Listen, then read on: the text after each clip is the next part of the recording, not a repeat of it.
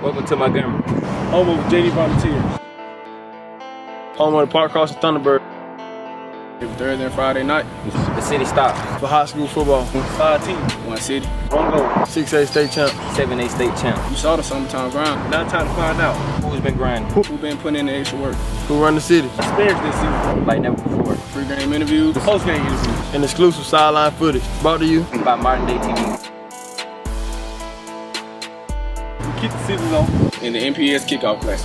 Park Crossing versus JD. T-Bird Nation, it's time. JD, embrace the grind, love the struggle.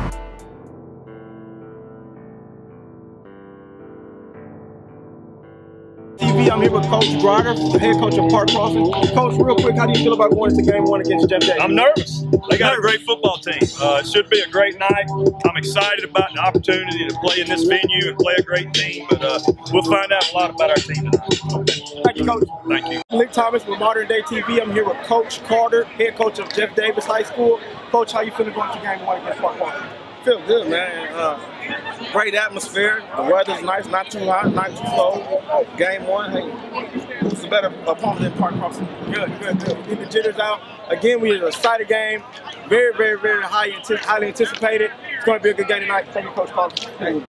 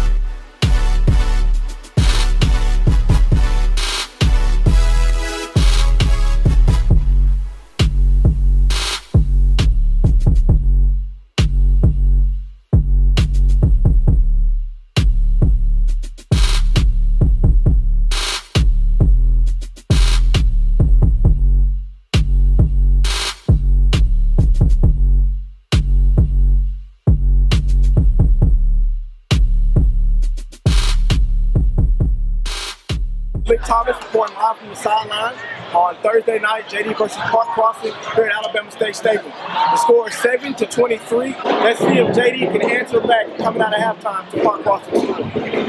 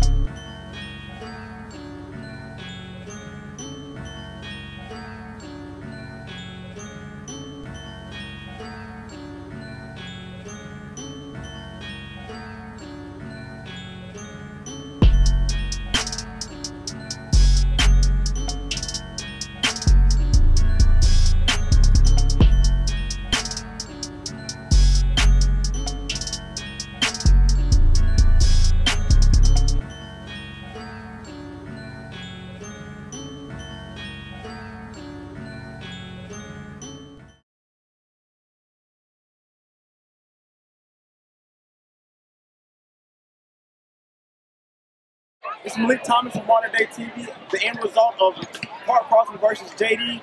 Park Crossing takes the lead. Luke, how do you feel about this game? Um, well, I knew coming to this game, we were team, an underdog. So, my so our team, we already knew what we had to do the show crowd. One heck of a game. Two touchdowns throwing, two touchdowns running. Now on the defensive side, here we had Mario. He had two tackles and one sack. Again, how was your how was your, your feeling going into the game? I mean, it was a highly anticipated game out in the city. And A lot of trash the team. We showed we were the best team. Nigga, this is your first time playing Jeff Davis. I know you guys are excited. You guys going to enjoy your win. Thank you. Coach, exciting game, exciting win. Uh, how do you feel about your win tonight? Oh, just relieved. I've been worried about this one all summer.